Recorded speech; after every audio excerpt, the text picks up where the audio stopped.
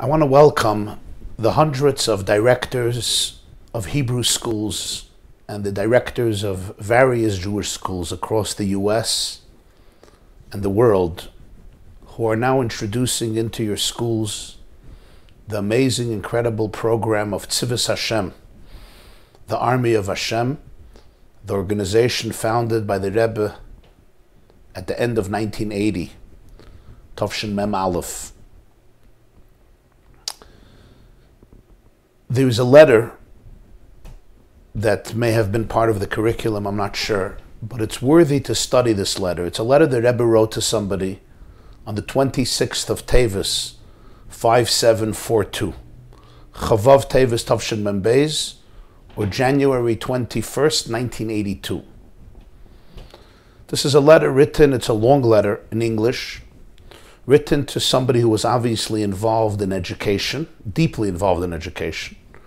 Somebody who was also a public activist and who cared about Yiddishkeit, he cared about Judaism. And he protested to the Rebbe that despite the fact that he appreciates a lot of the work of Chabad Lubavitch around the world, he feels that it was erroneous to create an organization, Tzivos Hashem, which focuses on militarism. And in an age of violence and in an age of war and conflict and crime, it's so unhealthy and it's not pedagogical and educational to inculcate within innocent children ideas connected to armies and commanders and wars and platoons and grenades and bullets and guns, which all smack with aggression and violence and bloodshed and conflict and war. On the contrary, we want to teach the youth to become faithful, loyal citizens dedicated to build societies based on camaraderie and peace and coexistence and tolerance and respect. The antithesis of war. Why would the Rebbe then create an organization that the focus is Tzivos Hashem? We're soldiers in an army. We're fighting an enemy. We're fighting the Yetzer Hara. God is our commander in chief. Our weapons are Torah, mitzvahs. You want to educate children? Find other methods, find other allegories. This was the question that this man raised the Rebbe. I didn't see his letter, but the Rebbe responds to all these questions, so it's obvious that these was his question. This was his question. The Rebbe writes to him a very elaborate, self explanatory, lengthy, respectful, and really beautiful, beautiful letter. Interestingly, pointing out that he did not create this organization in a vacuum. It came after much deliberation and much thought. He said, I have thought long and hard about the problems that he addresses, and only then did he come to the conclusion that Tzivos Hashem can really serve as a powerful answer to these challenges and problems that American youth and youth in other countries, Jews and non Jews, are enduring and going through. I would suggest all of you to learn this letter well and not just learn it at the surface. There's a lot of layers of it. The Rebbe's letters in general were written very briefly. Even long letters, like this one, it's still very brief. The Rebbe would contain a lot, he would compress a lot in a single sentence, and often people read it and they don't really get it. They get one point, but they don't get every line. Every line and word is meticulous, is precise. The Rebbe dictated it. It was written by one of the secretaries, probably Dr. Mindel, and then reviewed by the Rebbe, sometimes once, sometimes twice after the, the, the secretary typed it out.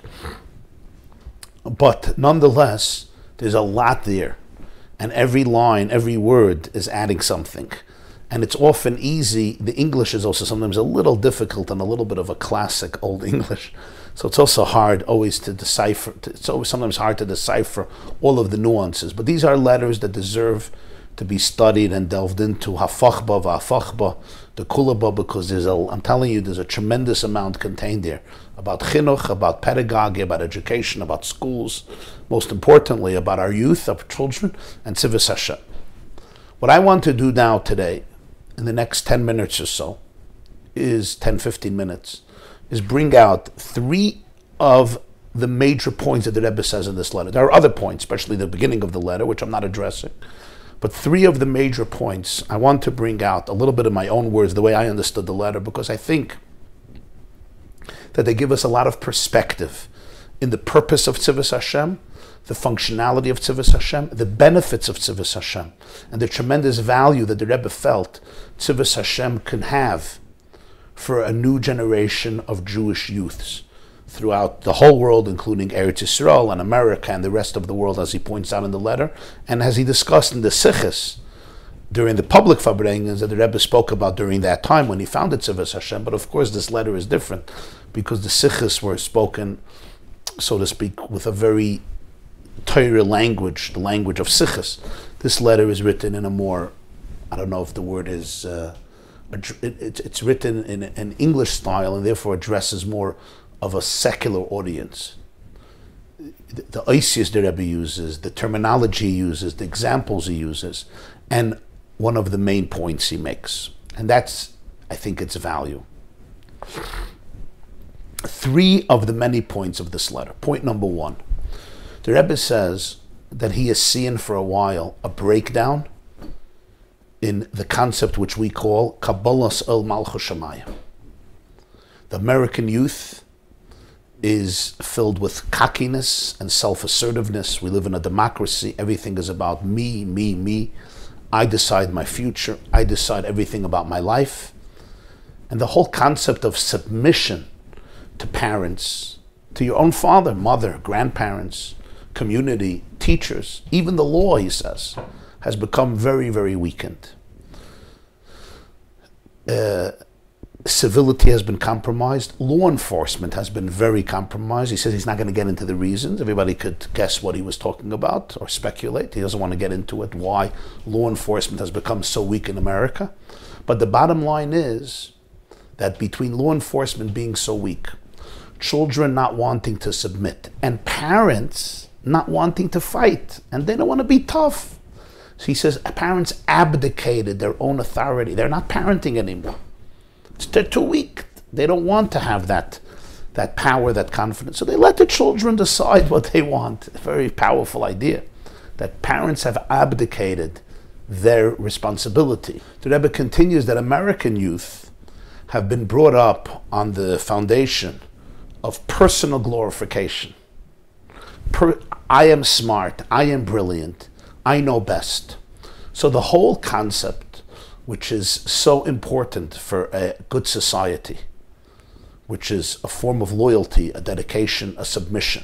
And the basis of Yiddishkeit, Kabbalas Ol Malchus Shemayim, I'm here to serve Hashem, accepting the yoke of the kingdom of heaven, has been severely compromised. How do you deal with that? So the Rebbe said he thought long and hard, not to look at the symptoms, but to get to the core.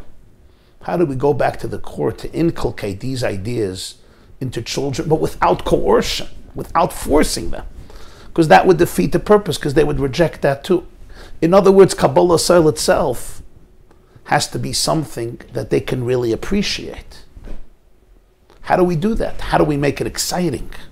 Rebbe has an expression in the letter. I came to the conclusion that there's no other way than trying to effect a basic change in the nature of children through a system of discipline and obedience to rules which she or he can be induced to get accustomed to. Moreover, for this method to be effective, it would be necessary that it should be freely and readily accepted without coercion. Wow.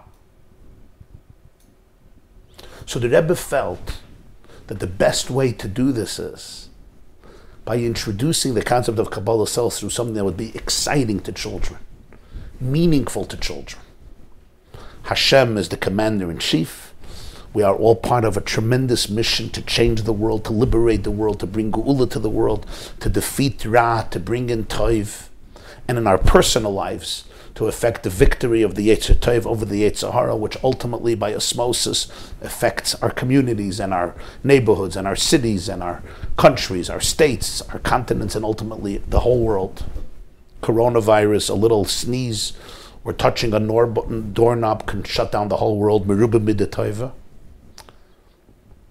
So create a system that introduces almost through the back door these concepts, these yisoidus of Kabbalas Ol Malchus Shemaim. Yes, you're in an army. Yes, you have a commander. Yes, there is the order of the day. Yes, there is the war that we're fighting in this era. Yes, there is what the enemy wants and there is what you want. Yes, you can't fall asleep on the job. All of these yisoidus of Kabbalas Ol, which are essential for a child and for an adult to be able to function as a good person, as a good American, and certainly as a good Jew. Point number one. Point number two, you could say, is prophetic. And that is the Rebbe speaks about the lack of safety in schools, the gangs, the levels of crime, the fact that in previous generations and years in America was unheard of, that schools should be such unsafe places, that you need metal detectors, that there is so much violence. Especially the youth are watching, I'm adding this, the youth watching shows in TV, movies, video games, etc., that sometimes glorify violence. And especially for young boys, also for young girls, but especially for young boys who are aggressive by nature, especially if you're aggressive, this can literally feed sharks and monsters in the child that can be very dangerous. The Rebbe has an expression here in the letter. The Tzivos Hashem campaign has a further reward though not widely applicable to Jewish children attending Hebrew schools, because they grew up they grew up in a more moral environment. The Chachamim taught us in Shabbos, Daf Kuf Nun Vav, that somebody who's born with a violent nature, he should become a physician, a bloodletting physician, a shochet, a mohel, to give a positive outlet to his strong natural propensity children that might be inclined to aggressiveness and hence easy candidates for street gangs and the like would have a positive outlet by diverting their energy in the right direction. Wow. So let's think about this.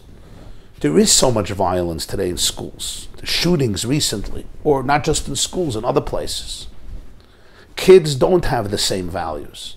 So those who grow up in nice homes and they're not aggressive by nature, okay, most of them are fine. But we have this tendency, and there is this danger. There's domestic abuse in homes, and all other types of abuse. So the Rebbe is telling us those kids will desperately need and gain from an outlet, a positive outlet. Teach them, yes, fight. Fight the Yetzer Hara. Yes, you're in an army. Be aggressive. Be aggressive against evil.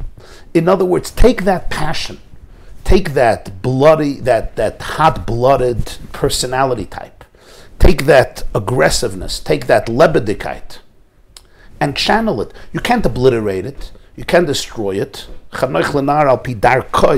It's a beautiful shot from the Vilna pidarkoi.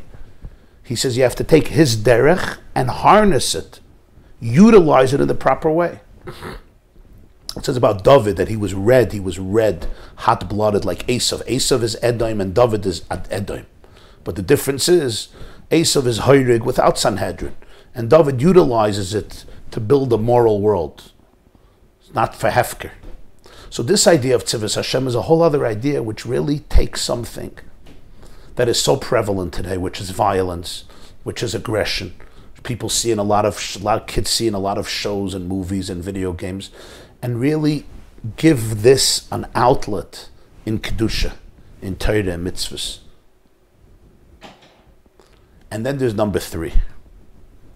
Number three, what Tzivos Hashem does is it teaches us that there is a war going on. And the main war that's going on is inside my heart. We could say, you know, yeah, let's just talk about peace. What's the danger? The danger is you're ignoring war, just like politically or militarily. If there's a country in war and we say we're going to be pacifists, we're going to make believe there's no war. The problem is there is a war and you're going to die. Innocent people are going to die. You have to fight. So the Rebbe says here is where Tzivos Hashem comes in. There is a war going on. You know what the biggest war has happened? The biggest war that is going on, where it is, it's in my heart, it's in your heart. We have traumas, we have pains, we're broken, we have insecurities, we have fears.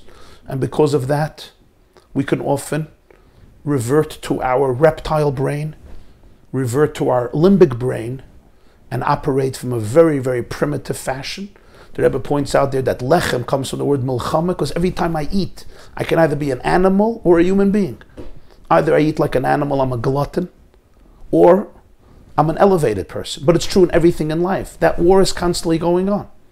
When I'm married, I have struggles in terms of being a husband or a wife, in terms of being a father or a mother. Whatever stage in life you are, the biggest battles you have to wage and the greatest challenges you have to confront are the inner challenges. The Chovos HaLevavos writes that there was a man, a great warrior, who came back from war. He defeated his enemies, and a great sage came to greet him. And he said, "Now that you finished the small war, you're ready to begin the big war." And he said, "What's the big war?" He said, "The big war is inside here." Tzivos Hashem inculcates in me the idea that in life I have to battle instincts, cravings, brokenness, traumas, insecurities, pains, yetzer haras, all types of proclivities, propensities, uh, inclinations, instincts, addictions that will harm me if I don't control them, if I don't defeat them, if I don't subdue them, if I don't confront them, if I don't subjugate them, if I don't deal with them, if I don't transform them, if I don't understand them, if I don't quarantine them, if I don't identify them. I have to create space for them. I have to realize there is lechem elashim milchama, shatz loiser shas kravet, says in Zohar. Time of davening is a time of war. Lechem milchama, time of eating is a time of war. Yes, every time I open the pantry, there's a war going on. Am I going to align myself with my inner infinite nature that is aligned with divinity, or am I going to revert back to my inner um, my inner limbic brain, what they call reptilian brain? Obviously, the Rebbe won't use that word for obvious reasons, but basically the limbic brain, which is based on flight or flight, the amygdala of the brain, which is not doesn't have the ability of the prefrontal cortex to develop vision, what you may call in Tanya's terminology, nefesh habahamis. I basically live by the reptile inside of me or the animal inside of me without the ability to open myself up to the divinity that flows through me. That is a constant choice. We have to teach children about these choices. We have to help them breathe in these choices, help them make these choices on a daily basis. That's what Tzivos Hashem focuses on. It focuses on the wars that exist inside of us and our ability to vanquish those sides that limit us, that shrink us, that, that enslave us, that subjugate us, and keep us hostage to our amygdala, rather than allowing us to see the bigger picture of our lives and live life from a much deeper and more wholesome and divine and happier place. This too is what Tzivos Hashem accomplishes. The Rebbe concludes the letter that he hopes that all Jews outside of Lubavitch will adopt and embrace in their schools and homes the programs of Tzivos Hashem, and I hope this will be happening now that this vision of Tzivos Hashem and everything it entails, it's something that we haven't even fully developed yet, something that we haven't fully harnessed yet.